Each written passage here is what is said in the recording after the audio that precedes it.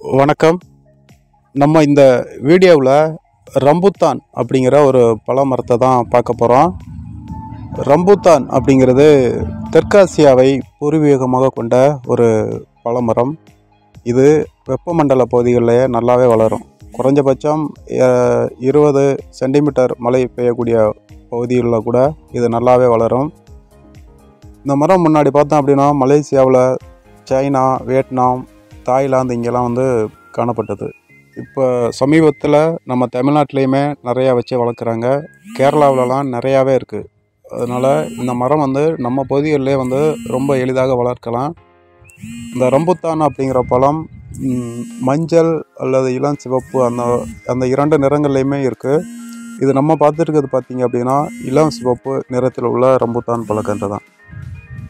இந்த ரம்புத்தான் பழக்கன்றுகள் வளர்க்கணுமா? உங்களுக்கு விருப்பமோ ஆர்வமோ இருந்தால் எங்களுக்கு அந்த நம்பரில் வாட்ஸ்அப் மூலமாக ஆர்டர் கொடுத்தீங்க அப்படின்னா நாங்கள் உங்களுக்கு இந்த கன்றை வாங்கி அனுப்பி வச்சுருவோம்.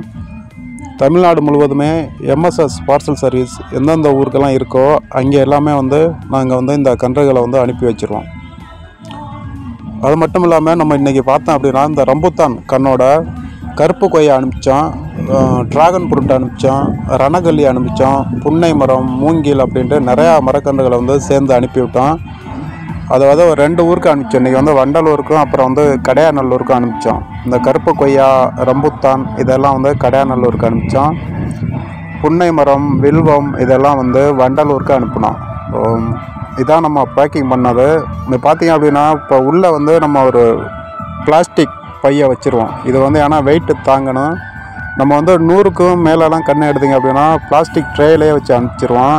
ஆனால் இது வந்து கண் வந்து குறைவு. அதனால வந்து அட்டைப்பட்டியில் தான் வச்சு அனுப்பிச்சோம்.